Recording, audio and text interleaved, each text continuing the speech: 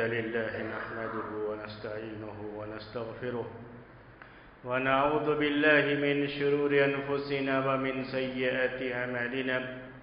من يهده الله فلا مضل له ومن يضلله فلا هادي له وأشهد أن لا إله إلا الله وحده لا شريك له وأشهد أن محمدا عبده ورسوله. يا أيها الذين آمنوا اتقوا الله حق تقاته ولا تموتن إلا وأنتم مسلمون. يا أيها الناس اتقوا ربكم الذي خلقكم من نفس واحدة وخلق منها زوجها وبث منهما رجالا كثيرا ونساء واتقوا الله الذي تساءلون به والأرحام إن الله كان عليكم رقيبا. يا أيها الذين آمنوا اتقوا الله وقولوا قولا سديدا يصلح لكم أعمالكم ويغفر لكم ذنوبكم ومن يطع الله ورسوله فقد فاز فوزا عظيما. أما بعد فإن خير الحديث كتاب الله وخير الهدي هدي محمد صلى الله عليه وسلم وشر الأمور محدثاتها وكل محدثة بدعة وكل بدعة ضلالة وكل ضلالة في النار. فقد قال الله سبحانه وتعالى في كلامه المجيد يا أيها الذين آمنوا كتب عليكم الصيام كما كتب على الذين من قبلكم لعلكم تتقون. وقال النبي صلى الله عليه وسلم، من صام يوم الشك فقد عصى أبا القاسم. صلی اللہ علیہ وسلم. محترم بھائیوں اور معزز خواتین، یہ شابان کے مہینے کا آخری ہفتہ، اس کے بعد رمضان کا مہینہ شروع ہونے والا ہے۔ اس سلسلے میں دو باتیں آپ کے سامنے پہلے عرض کریں، جس کا تعلق مسئلے سے ہے کہ شابان کے مہینے کے لاسٹ میں بالکل آخر دن روزہ رکھنے سے اللہ کے رسول صلی اللہ علیہ وسلم نے منع کیا ہے۔ آپ نے یہ بات فرمائی ہے کہ منصام یوم الشکی فقد عصا اب القاسم صلی اللہ علیہ وسلم۔ یہ عمار بن یاسر رضی اللہ تعالی عنہ کہتے ہیں کہ منصام یوم الشکی فقد عصا اب القاسم صلی اللہ علیہ وسلم۔ مشہور صحابی ہیں عمار بن یاسر رضی اللہ تعالی عنہ۔ انہوں نے یہ بات ذکر کیا کہ اگر کوئی آدمی شک کے دن کا روزہ رکھتا ہے تو اس نے ابو القاسم ابو القاسم یہ پیارے نبی صلی اللہ علیہ وسلم کی کنیت ہے یہ۔ قاسم آپ کے بیٹے کا نام اس لحاظ سے آپ کو ابو القاسم یعنی قاسم کے ابا، قاسم کے ابو، ہم اردو میں جو کہتے ہیں، تو یہ ابو القاسم کنیت اللہ کے رسول صلی اللہ علیہ وسلم کی کہا کہ اگر کوئی آدمی شک کے دن کا روزہ رکھتا ہے، تو اس نے ابو القاسم صلی اللہ علیہ وسلم کی نافرمانی کی۔ اس سے یہ پتہ چلتا ہے کہ پیارے نبی صلی اللہ علیہ وسلم نے شک کے دن کا روزہ رکھنے سے منع فرمایا۔ یہ شک کے دن کا روزہ کیا ہوتا ہے؟ اگر آپ شابان کا مہینہ لیں گے تو اس کے لحاظ سے شک کا دن کون سا آتا ہے یہ؟ کہ جب انتیس تاریخ ہوگی ٹوینٹی نائنتھ شابان جو ہے، بیس پر نو جسے آپ کہتے ہیں جب یہ انتیس تاریخ ہوگی تو انتیس تاریخ کو اگر کہیں آسمان پر بادل ہے اور یہ یقین نہیں ہو سکا کہ چاند نکلا ہے، چاند طلوع ہوا ہے یا نہیں طلوع ہوا یہ پتہ نہیں لگ سکا کیونکہ جو فضا تھی وہ بادلوں سے ڈھکی ہوئی تھی۔ اس کی وجہ سے چاند کے بارے میں کلیئر طور پر یہ نہیں کہا جا سکتا کہ چاند ہے یا چاند نہیں ہے۔ کیونکہ چاند نظر آنے کی شکل نہیں تھی، بادل ہونے کی وجہ سے چاند نظر آنے کی شکل نہیں تھی۔ تو ایسے موقع پر ایسا آدمی سوچ سکتا ہے کہ چلو، ہو سکتا ہے کہ بادل کے نیچے کہیں چاند رہا ہو اور ہمیں نظر نہ آیا ہو۔ ایک شک ہوتا ہے ایک شبہ ہوتا ہے کہ بادل کے پیچھے چاند ہو سکتا ہے، ہو سکتا ہے۔ ممکن ہے یہ۔ تو اس کی وجہ سے اگر کوئی آدمی اس دن کی، چلو دوسرے دن ہم روزہ رکھ لیتے ہیں، احتیاط کرتے ہوئے کہ اگر چاند رہا ہوگا تو ٹھیک ہے، ہمارا رمضان کا روزہ ہو گیا۔ اگر چاند نہیں ہے تو بھی کوئی بات نہیں۔ ایک نفل روزہ ہو جائے گا۔ کوئی بھی آدمی یہ بات سوچ سکتا ہے اور خاص طریقے سے مسلمان بھی یہ بات سوچ سکتا ہے، ایمان والا یہ بات سوچ سکتا ہے کہ اگر جو ہے ہم نے روزہ نہیں رکھا اور اندر اگر چاند تھا بادل کے اندر، تو ہم بڑے گناگار ہو جائیں۔ کیونکہ رمضان کا مہینہ شروع ہو گیا اور ہم نے روزہ نہیں رکھا۔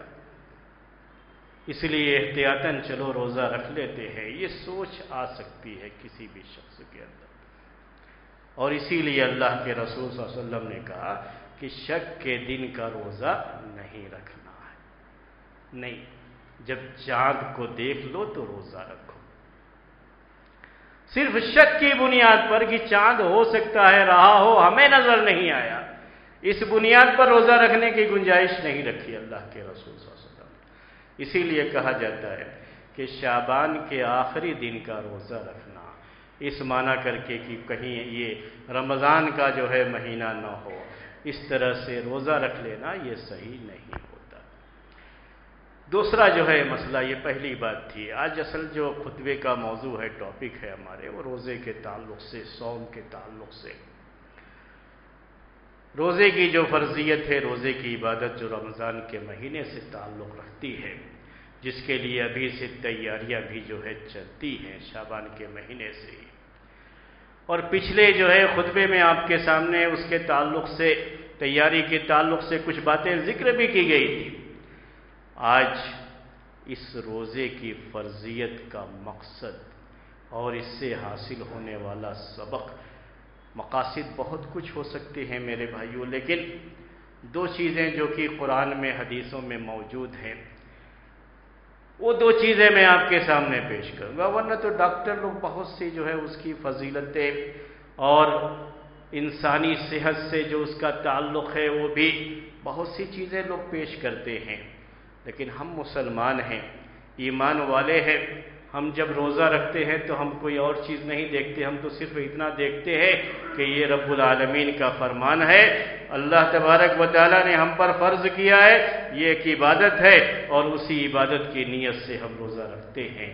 اس لحاظ سے نہیں رکھتے کہ ہمارے جسم کو کیا فائدہ ہو جائے گا، اور ہم اس لحاظ سے نہیں رکھتے کہ ہماری صحت اچھی ہو جائے گی۔ یہ سب نیت ہماری نہیں ہوتی، اس لیے وہ چیزیں نہیں پیش کریں گے، صرف دو باتیں۔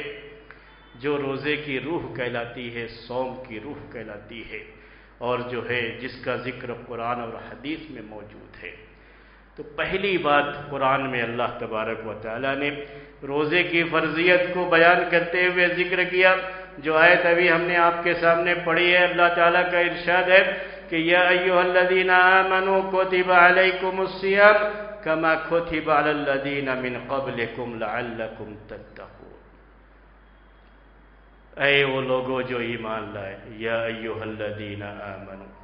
اے وہ لوگوں جو ایمان لائے ہو، ایمان والوں کو مخاطب کیا اللہ تبارک و تعالی نے۔ ہم سب لوگ میرے بھائیوں اللہ تعالیٰ کے اس قول کے اندر داخل ہیں۔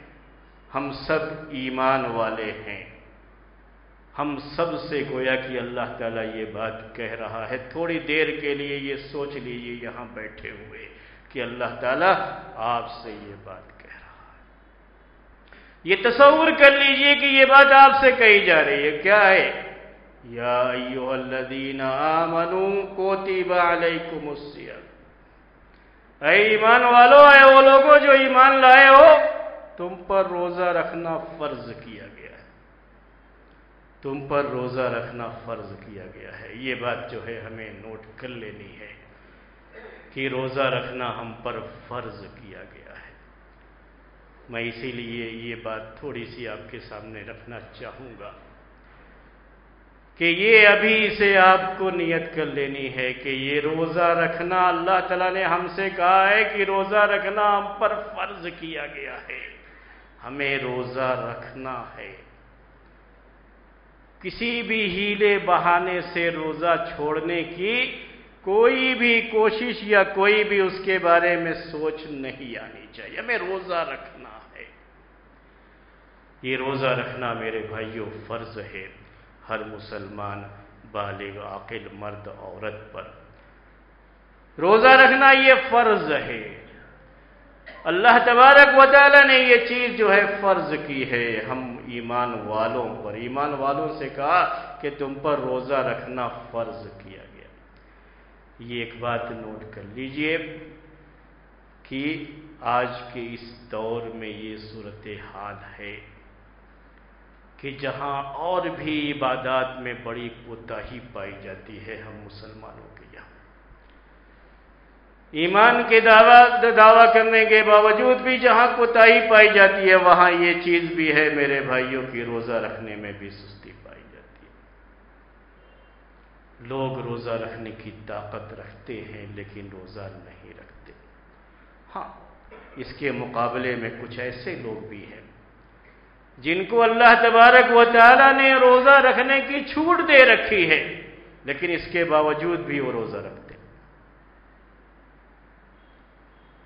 ان کی ایک خواہش ہے، وہ چاہتے ہیں کہ جو ہے روزہ رکھیں۔ حالانکہ اگر وہ روزہ نہ بھی رکھیں تو اللہ تبارک و تعالیٰ کی طرف سے انہیں چھوٹ ملی ہوئی ہے۔ تو یہ ہم انسانوں کے اندر اس طرح کی چیزیں میرے بھائیوں پائی جاتی ہیں۔ کن کن لوگوں کو اللہ تعالیٰ نے چھوٹ دے رکھی ہے۔ جن کو چھوٹ دے رکھی ہے وہ دو طرح کے لوگ ہیں۔ ایک تو وہ لوگ ہیں جن کو عارضی چھوٹ دی گئی ہے۔ عارضی کا مطلب ٹیمپریری جو ہے ٹیمپریری چھوٹ دی گئی ہے یعنی وہ رمضان کے مہینے کے بعد انہیں قضا کرنی ہے۔ صرف رمضان کے مہینے میں انہیں چھوٹ ملی ہوئی ہے کہ وہ چاہے تو افطار کر لے، روزہ نہ رکھے، لیکن بعد میں انہیں قضا کرنی ہے، یہ ٹیمپریری چھوٹ کہلاتی ہے۔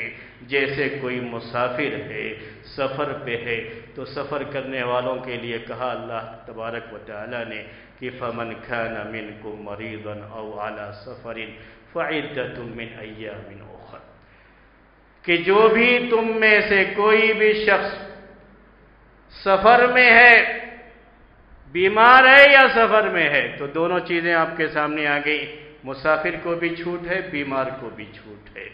لیکن یہ ٹمپریری چھوٹ کہلاتی ہے۔ یعنی یہ صرف رمضان کے مہینے میں چھوٹ ہے۔ لیکن جتنے دن سفر میں تھے اور روزہ نہیں رکھا، وہ گنتی کے ساتھ دوسرے دنوں میں اس کی قضا کرنی ہے، یہ ٹمپریری چھوٹ۔ یہ چھوٹ ان عورتوں کو بھی حاصل ہے جو عورتیں ماہواری کے دنوں میں ہوتی ہیں اور جن کے لیے روزہ رکھنا جائز نہیں ہے۔ ان کو بھی اللہ تبارک و تعالیٰ نے یہ چھوٹ دے رکھی ہے کہ وہ جو ہے، ان کو تو روزہ رکھنا ہی نہیں ہے وہ رمضان کے مہینے میں۔ ان دنوں میں روزہ نہ رکھ کر کے بعد میں اس کی قضا کریں گے۔ یہ ٹمپریری چھوٹ کہلاتی ہے۔ لیکن کچھ ایسے بھی لوگ ہیں میرے بھائیوں جن کو اللہ تعالیٰ نے پرماننٹ چھوٹ دے رکھی ہے۔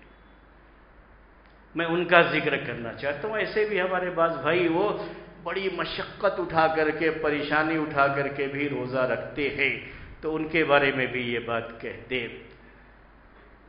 یہ بیماری اس کے بارے میں اہل علم نے یہ بات ذکر کی ہے۔ عبداللہ ابن عباس رضی اللہ تعالی عنہما مشہور صحابی وہ یہ بات ذکر کرتے ہیں۔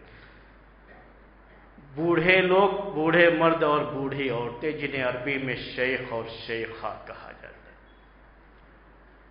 کہ ایسے بوڑھے مرد، ایسی بوڑھی عورتیں جو روزہ رکھنے کی طاقت نہیں رکھتے۔ بڑھاپے کی وجہ سے اب ان کے اندر روزہ رکھنے کی طاقت نہیں رہ گئی ہے۔ تو اللہ تبارک و تعالیٰ نے ان کے لیے یہ چھوٹ دی ہے۔ کہ وہ ہر دن رو ہر روزے کے بدلے میں ایک مسکین کو کھانا کھلا دیں اور ان کے لیے اور کچھ نہیں ہے۔ بس یہ چھوٹ ان کے حق میں ہے اور یہ پرماننٹ اس لیے ہے کہ جو آدمی بڑھاپے کی منزل کو پہنچ چکا ہے، اب دوبارہ جوانی کی طرف نہیں آ سکتا۔ اس کو پھر سے طاقت نہیں ہو سکتی۔ اب دن بدن وہ اور کمزور ہوگا۔ اس کو طاقت کی طرف نہیں لوٹنا ہے، کمزوری کی طرف جانا ہے۔ تو اس لیے ان کے اوپر قضا نہیں ہوتی، ان کو صرف ہر روز جو ہے ایک مسکین کو کھانا کھلانا۔ یہ چھوٹ ان بیماروں کو بھی حاصل ہے کہ جو ایسی بیماری میں مبتلا ہے کہ اب انہیں اس بیماری سے شفا کی کوئی امید نہیں رہی۔ جسے آج کے ڈاکٹر کہتے ہیں کہ لا علاج بیماری ہے۔ یعنی اب یہ بیماری اچھی ہونے والی نہیں ہے۔ ہم تو اسلامی نقطۂ نظر سے کسی بھی بیماری کو ایسی بیماری نہیں مانتے۔ میں وہ بات بھی آپ کے سامنے کلیئر کرنا چاہتا ہوں۔ ہم کسی بھی بیماری کو لا علاج بیماری نہیں مانتے۔ وہ اللہ تبارک و تعالیٰ نے جتنی بھی بیماریاں پیدا کی ہیں دنیا میں سب کا علاج بھی نازل فرمایا ہے۔ یہ الگ بات ہے کہ ہم کو اس کا علاج پتہ نہ ہو۔ اس لیے ہم کسی بیماری کو یہ تو نہیں کہتے کہ لا علاج، لیکن آج کے ڈاکٹر یہ کہتے ہیں کہ یہ بیماری اب ان کو لگی ہے تو یہ کبھی بیماری جانے والی نہیں ہے۔ تو ایسے بیمار اس کو عربی میں مرد مزمن کہا جاتا ہے۔ یعنی ایسی بیماری جو بیماری اب ختم ہونے والی نہیں ہے۔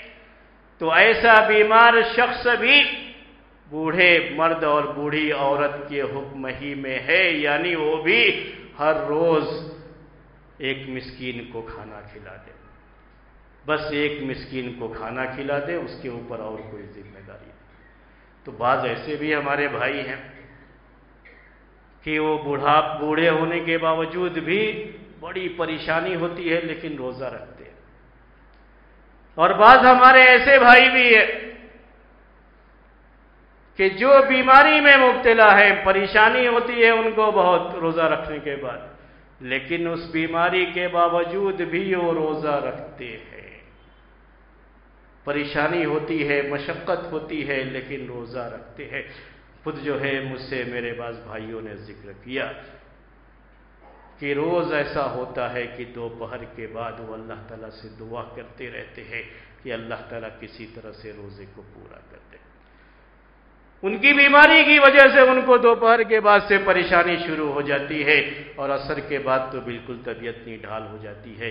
کسی کسی طرح سے جو ہے روزہ مکمل کرتے حالانکہ ان کو چھوٹ ہے۔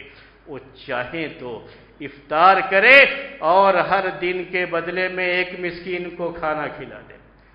یہ مسئلہ بھی میں چاہوں گا کہ آپ کے سامنے کلیئر کر دوں کہ ایک مسکین کو کھانا کھلانے کے بعد لوگ بڑی کثرت سے اس کے بارے میں سوال کرتے رہتے ہیں کہ ایک مسکین کو کھانا کھلانا ہے تو یہ افطاری بھی دینا ہے اور سحری بھی دینا ہے، دونوں کرنا ہے، یا صرف جو ہے ایک ٹائم کا دینا ہے؟ لوگ اس طرح کے سوالات بھی کرتے رہتے ہیں۔ اور کیا اسی دن دینا ہے؟ بعد میں کھلا سکتے ہیں، اس کی جگہ پر پیسہ دے سکتے ہیں، یا نہیں؟ مختلف طرح کے سوالات لوگ کرتے رہتے ہیں۔ قرآن میں جو بات ہے، وہ صرف کیا ہے؟ وفیدیت طعام و مسکین۔ ایک مسکین کا کھانا کھلانا۔ حدیثوں میں بھی یہ بات ذکر کی گئی ہے کہ ایک مسکین کو کھانا کھلانا۔ اور یہ کھانا کیسے کھلاتے تھے؟ اس کی بات ایک صحابی کے عمل سے ثابت ہے۔ وہ انس بن مالک رضی اللہ تعالیٰ عنہ ہے۔ انس بن مالک رضی اللہ تعالیٰ عنہ کہتے ہیں کہ وہ جب بوڑھے ہو گئے، ان کی عمر بھی، ان کو بڑی لمبی عمر ملی تھی، انس بن مالک رضی اللہ تعالیٰ، بڑی لمبی عمر پایا تھا۔ یعنی سو سال کے قریب کی عمر سمجھیے گی۔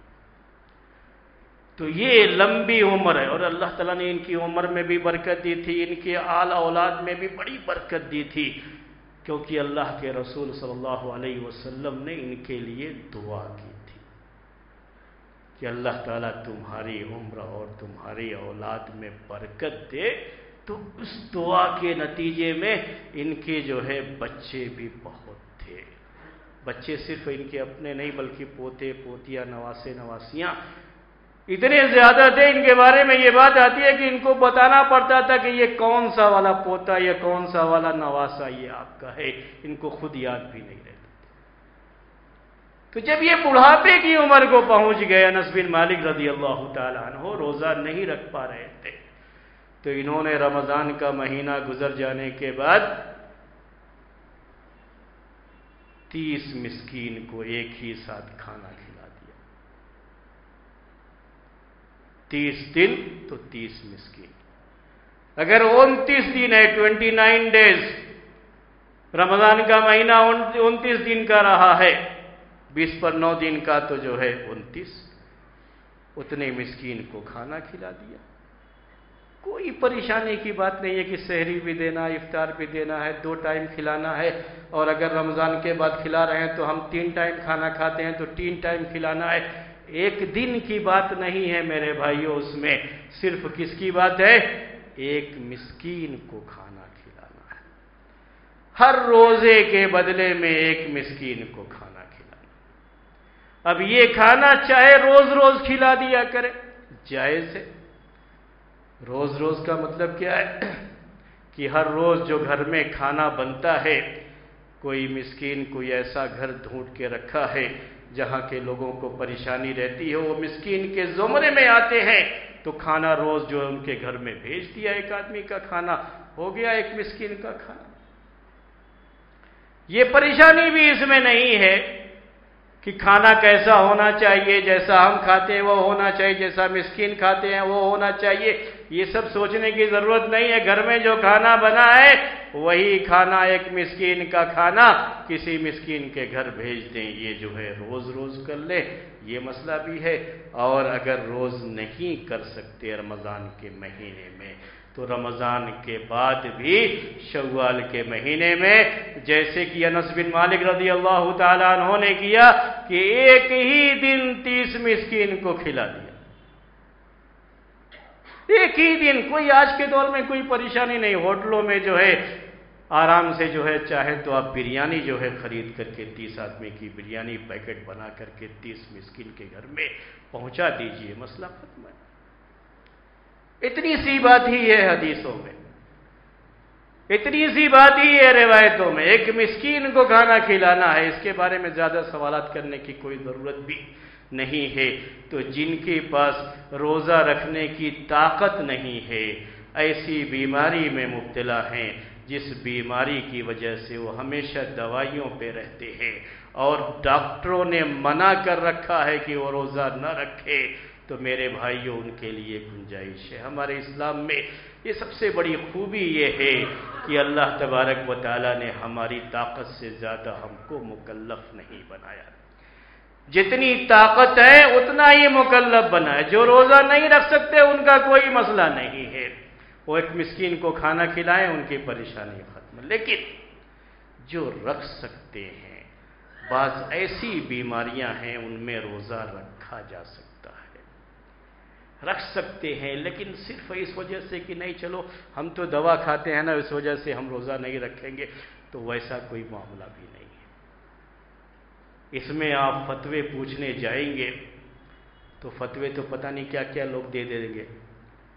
لیکن میں یہ چاہتا ہوں آپ کے سامنے اس بات کو کلیئر کروں کہ آپ دوسروں سے پوچھنے سے پہلے اپنے آپ سے پوچھ لیجیے کہ آپ کے اندر روزہ رکھنے کی طاقت اگر نہیں ہے تو اپنے اوپر زیادہ بوجھ ڈالنے کی کوئی ضرورت نہیں، اللہ تعالیٰ کو یہ چیز پسند نہیں ہے۔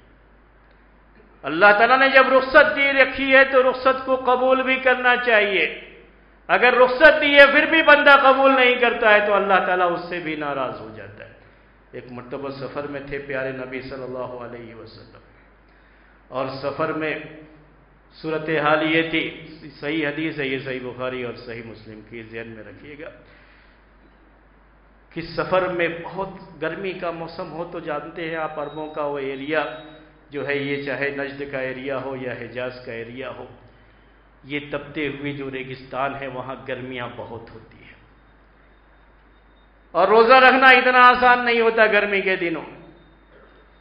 لیکن بعض صحابہ نے اس کے باوجود بھی روزہ رکھا۔ اللہ کے رسول صلی اللہ علیہ وسلم نے منع کر دیا تھا کہ روزہ نہ رکھیں کیونکہ گرمی بہت ہے، مسافر تھے اور مسافر کے لیے اللہ تعالیٰ نے چھوٹ دے رکھی ہے۔ تو آپ کی طرف سے ہدایت یہ تھی کہ روزہ نہ رکھیں، افطار کر لے لیکن اس کے باوجود بھی بعض لوگوں نے روزہ رکھا۔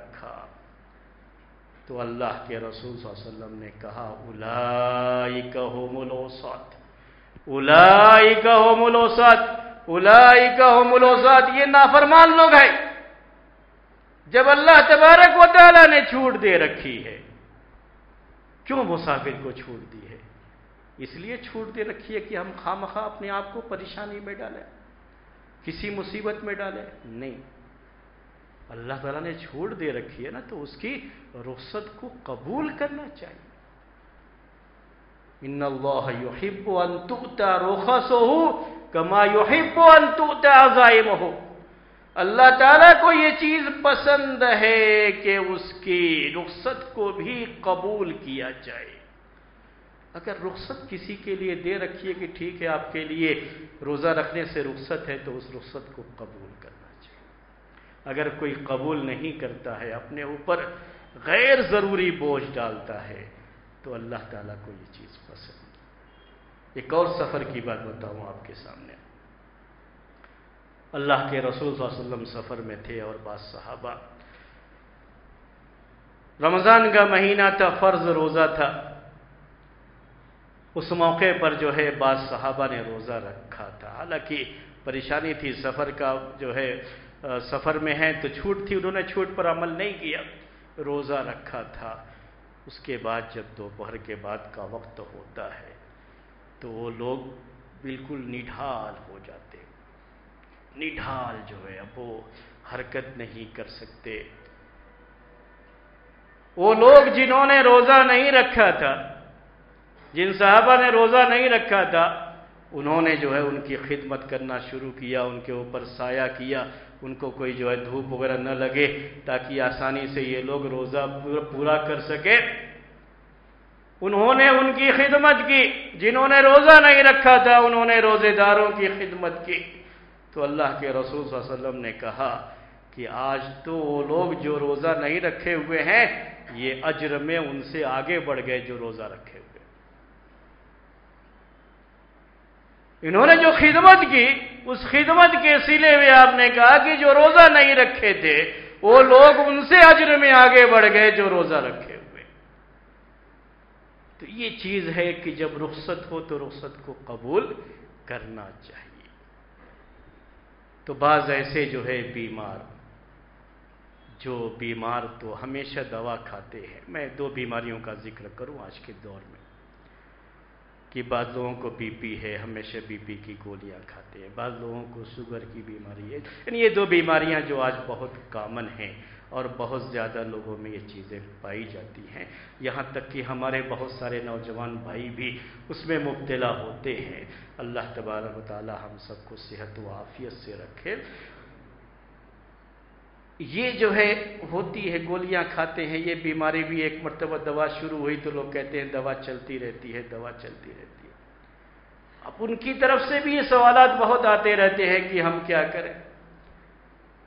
ہم تو برابر گولیاں کھاتے ہیں، تو ہمیں روزہ رکھنا ہے یا نہیں رکھنا؟ میں ایسے لوگوں کے بارے میں ہی کہہ رہا تھا، میرے بھائیوں، کہ پہلے آپ اپنے آپ سے پوچھ لیجیے، کسی عالم، کسی مفتی سے پوچھنے سے پہلے۔ کوئی عالم اور مفتی آپ کے بارے میں نہیں جانتا۔ آپ کے بارے میں نہیں جانتا، آپ اپنے بارے میں جانتے۔ ہاں آپ کی کنڈیشن کیا ہے؟ آپ کی حالت کیا ہے؟ آپ کی پریشانی کیا ہے؟ آپ اپنے ڈاکٹر سے مشورہ کر سکتے ہیں۔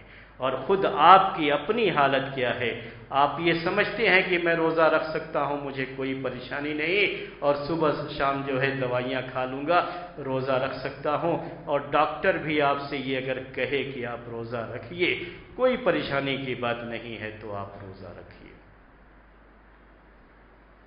لیکن اگر ڈاکٹر نے کہا ہے، منع کر دیا ہے، مسلم ڈاکٹر ہونا چاہیے، اس کی کنڈیشن یہ ہے۔ مسلم ڈاکٹر اگر یہ کہہ دے کہ نہیں، آپ کے لیے روزہ رکھنا خطرناک ہے۔ آپ روزہ نہیں رکھیں گے۔ اگر کوئی مسلم ڈاکٹر یہ کہہ دیتا ہے، آپ سے جو ہے کوئی ایسی جو ہے بیماری جس کی برابر گولیاں چل رہی ہے، تو جس سے بھی یہ بات کسی ڈاکٹر نے کہی ہو، تو اس کو چھوٹ ہے۔ کوئی بات نہیں، روزہ نہ رکھے، ایک مسکین کو کھانا کھلا دے۔ اللہ تعالیٰ کی طرف سے یہ چھوٹ ہے۔ اس چھوٹ پر اسے عمل کرنا چاہیے۔ لیکن رکھ سکتے ہیں تو رکھیں اور اپنے اوپر غیر ضروری بوجھ ڈالنے کی ضرورت بھی نہیں ہے۔ اگر نہیں رکھ سکتے ہیں تو اللہ تعالیٰ کی طرف سے رخصت ہے، اس رخصت کو قبول کر لیں۔ یہ بات تھی میرے بھائیوں جو ہے ان لوگوں کے تعلق سے، جو بیمار ہوتے ہیں یا مسافر ہوتے ہیں۔ ان کو رخصت ہے اور چاہے تو وہ روزہ رکھ سکتے ہیں، اگر رکھنے کی طاقت رکھتے ہیں، لیکن غیر ضروری اپنے آپ پر بوجھ نہ ڈالیں۔ روزے کے تعلق سے ایک بات اور آپ کے سامنے ذکر کر دوں، جب بات مسائل کی ہی چلنی شروع ہو گئی تو۔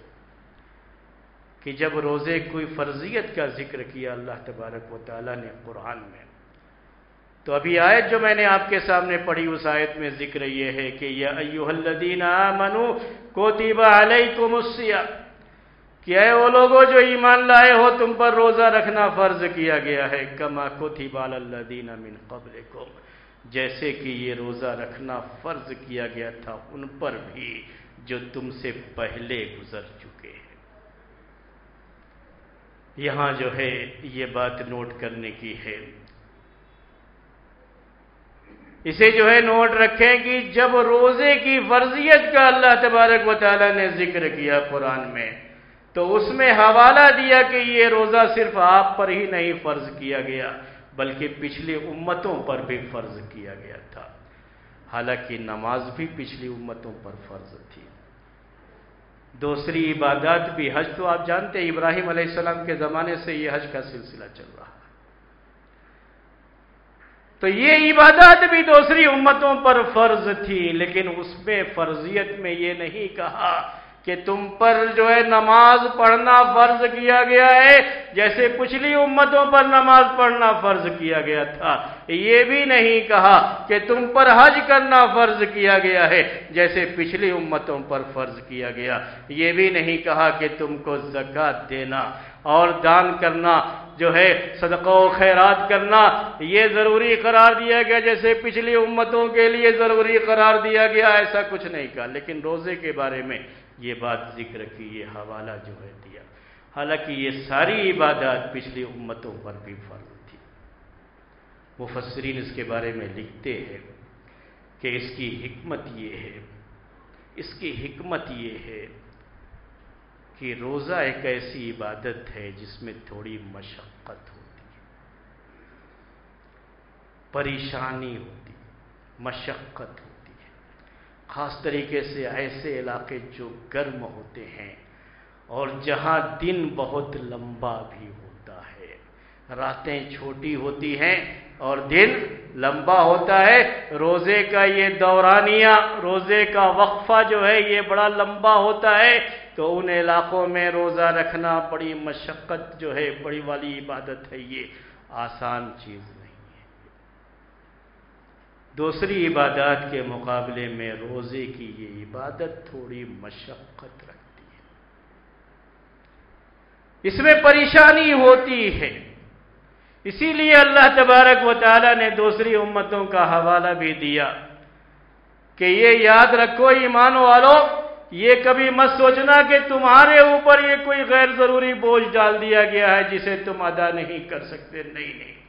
پچھلی امتیں بھی پہلے کر چکی ہیں، تو یہ عبادت تم بھی ادا کر سکتے وہ عبادت جو دوسرے لوگ کر چکے ہیں، تم بھی کر سکتے ہو۔ یہ کہنے کا مطلب ہے۔ اس لیے خواہ عذر جو ہے، کوئی نہ کوئی بہانہ کر کے اس کو چھوڑنے کی جو ہے کوئی نہ کوئی ہلا اور بہانہ ڈھونڈیں تو یہ اچھی چیز نہیں۔ اس میں مشقت ضرور ہے میرے بھائیوں، پریشانی ضرور ہے، لیکن ایسی پریشانی نہیں ہے کہ ہم اسے برداشت نہیں کر سکتے۔ مشقت ہے، لیکن تھوڑی مشقت اٹھا کر کے روزے کی یہ عبادت کی رکھی جو ہے جا سکتی ہے اور اس عبادت کو مکمل کیا جا سکتا ہے۔ اسی لیے گزارش آپ تمام لوگوں سے یہی ہے۔ جن جن تک میری یہ آواز پہنچ رہی ہے، سب سے یہ بات کہہ رہا ہوں کہ یہ بالکل طے کر لو کہ ہمیں روزہ رکھنا ہے۔ ہمیں روزہ رکھنا ہے خواتین، خاص طریقے سے جو یہ آواز سن رہی ہیں۔ ان سے یہ کہتا ہوں کہ گھر کے ماحول کو ایسا بنا لیں۔ ایسا بنا لیں کہ گھر میں سب کو شہری کے لیے اٹھائیں۔ شہری تیار کرے اور سب کو شہری کے لیے اٹھائیں اور سب کو شہری کرائے ذمہ داری ہے خواتین کی۔ اس کا اہتمام کریں کہ اپنے بچوں کو بھی جو بچے روزہ رکھنے کی طاقت رکھتے ہیں، جو بچے ابھی روزہ نہیں رکھ سکتے تو خام خواہ ان کو بھی پریشان کرنے کی ضرورت لیکن جو بچے رکھ سکتے ہیں، خواتین سے یہ گزارش ہے کہ خواتین ان کے لیے ان کو بھی جو ہے ساتھ میں اٹھائیں، روزے کی جو ہے نیت کے ساتھ جو ہے انہیں سحری کرائیں۔ اگر وہ روزہ مکمل کر لے جائے تو یہ بڑے ثواب کا کام ہے۔ ان کو بھی ثواب ملے گا، ان کے ماں باپ جنہوں نے ان کو روزہ رکھنے کی عادت بچوں پر روزہ فرض نہیں ہوتا ہے، یہ یاد رکھیے، روزے کی فرضیت بالغ پر ہی ہوتی ہے۔ مرد عورت بالغ ہونا انہیں کو لیے فرض ہوتا ہے، بچوں پر روزہ فرض نہیں ہے۔ لیکن عادت ڈالنے کے لیے وہ بچے جن کی عمر اتنی ہو چکی ہے کہ اب رکھ سکتے ہیں، جو بالکل چھوٹے بچے ہیں، میں ان کی بات نہیں کر رہا ہوں۔ جن کے اندر روزہ رکھنے کی طاقت نہیں ہے، ان کی بات نہیں کر رہا ہوں۔ لیکن جو رکھ سکتے ہیں، ماں باپ کو پتا ہوتا ہے کہ میرا یہ بچہ اس عمر کو پہنچ گیا ہے کہ اب رکھ سکتا ہے، تو ان کو عادت ڈلوائیں میرے بھائیوں بچپن سے یہ عادت جب رہتی ہے، تو بڑھاپے تک آدمی روزہ رکھتا ہے۔ آج جن کے بارے میں آپ سنیں گے کہ یہ روزہ نہیں رکھتے، تو یاد رکھیے، کبھی ایسا وقت گزرا ہوگا جب ان کی ماؤں نے ان کو روزہ نہیں جن کو عادت نہیں تھی نا وہی لوگ روزہ نہیں رکھتے۔ جن کی ماؤں نے بچپن سے انہیں روزہ رکھوایا ہے، وہ کبھی بھی روزہ نہیں چھوڑتے۔ ہمارے وہ بھائی، جن کی آس پاس، قریب پاس میں دکانیں ہوں ہوٹلس ہیں، چاہے چائے کی ہوٹل ہو، کوئی بھی ہو، ایک گزارش ان سے بھی ہے کہ رمضان کے مہینے کا احترام کرتے ہوئے دن کے وقت میں اپنے ہوٹل کو بند رکھیں سبب نہ بنے لوگوں کے لیے۔ سبب نہ بنے، روزہ نہ رکھنے کا کسی کے سبب نہ بنے۔ جیسے ابھی ہم نے آپ سے کہا کہ ایک آدمی کسی کے لیے روزہ رکھنے کا سبب بنتا ہے، تو جو آدمی روزہ رکھ رہا ہے، اس کو تو روزہ رکھنے کا ثواب ہے ہی۔ اور جو سبب بن رہا ہے، اس کو بھی ثواب ملتا ہے اس میں۔ وہ میں بھی خواتین کے لیے جو کہہ رہا تھا کہ سب کو اٹھائیں، سحری کرائیں سحری کی تیاری کریں، ان کو اجر و ثواب ملے گا اس کا۔ تو ایسے ہی وہ لوگ جو دوسروں کے روزہ نہ رکھنے کا سبب بنتے ان کی وجہ سے جو ہے، لوگوں کو جو چھوٹ مل جاتی ہے کہ وہ روزہ نہیں رکھتے، کہ کھانے پینے کا انتظام گھر کے باہر ان کو لیے ہو جاتا ہے، تو ان کو چاہیے کہ وہ اپنے ہوٹلس بند رکھیں۔ ہمارے اس ملک کے بہت سے علاقوں میں یہ بات ہے۔ بہت سے شہروں میں یہ بات ہے کہ سارے مسلم علاقوں میں جتنی بھی مسلم دکانیں ہوتی ہیں کھانے پینے کی، وہ لوگ دن کے وقت میں بند رکھیں افطار کے ٹائم میں کھولتے ہیں اور سحری کے ٹائم میں اور دن کے وقت میں بند رکھتے ہیں۔ تو ہمارے وہ بھائی جو اس پیشے سے جڑے ہوئے ہیں، ان سے گزارش ہے کہ اللہ تعالیٰ آپ کی جو ہے کمائی میں برکت دے گا۔ اللہ تبارک و تعالیٰ کے لیے اگر آپ دن میں بند کریں گے تو آپ کو افطاری اور سحری کے ٹائم میں جب آپ کھولیں گے تو اسی وقت کی کمائی میں آپ کو اللہ تعالیٰ اتنی برکت دے دے گا کہ دن کے وقت آپ کو کھولنے کی، نہ جو ہے، نہ کھولنے کی وجہ سے آپ کو کسی طرح کے نقصان کا کوئی معاملہ نہیں ہوگا۔ یہ چند باتیں تھیں میرے بھائیوں۔ روزے کے کچھ مسائل تھے جو آپ کے سامنے ذکر کر دیے گئے۔ اللہ تعالیٰ سے دعا ہے کہ اللہ تعالیٰ ہم سب کو صحت و عافیت عطا فرمائے۔ اللہ تعالیٰ ہم سب کو صحت اور عافیت کے ساتھ رمضان کے مہینے میں داخل فرمائے۔ ہم سب کو روزہ رکھنے کی توفیق عنایت فرمائے۔ سیام و قیام اور رمضان کے مہینے سے صحیح طریقے سے مستفید ہونے کی توفیق عنایت فرمائے۔ اللہ تبارک و تعالی ہمارے بچوں کو صحیح ایمان اور صحیح اسلام پر ان کو جو ہے چلانے کی اللہ تعالی ہمیں توفیق عنایت فرمائے۔ آمین۔ اقول قولی هذا واستغفر الله لي ولكم ولسائر المؤمنين فاستغفروه انه هو الغفور الرحيم ورب الحليم